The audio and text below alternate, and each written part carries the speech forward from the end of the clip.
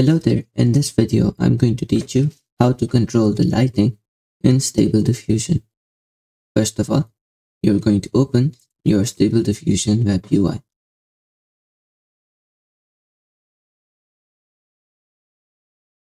Launch it using your web UI user.bat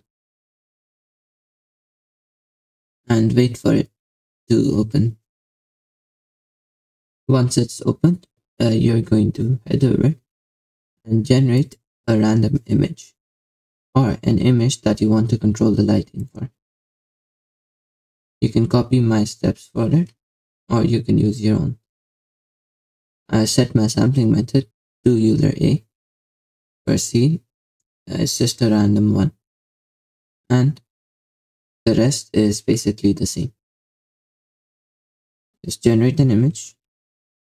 And after that, you're just going to open ControlNet, paste in a light map for your image.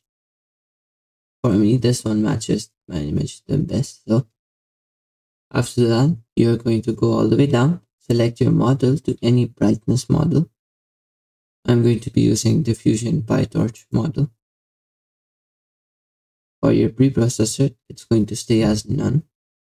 For your control weight, it's very important that you lower this down to about 0.5.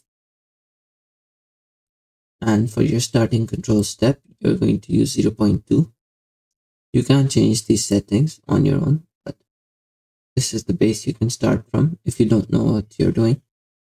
For your ending control step, you're going to set that to 0.7.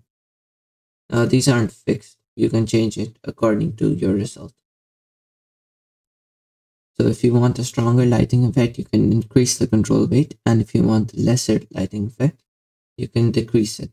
So after you're done, you're going to fix the seed. This is the most important part. So if you have a generation already, you're going to hit this button to fix seed.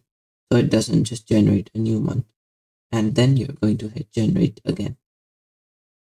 Now you can see it changed the lighting up. It did use my control net but for some reason it also changed up our base image.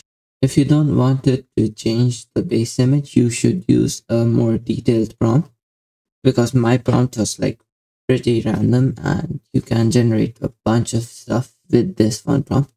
So if you don't want it to change your image while generating the control net, you can add a advanced prompt and a negative prompt.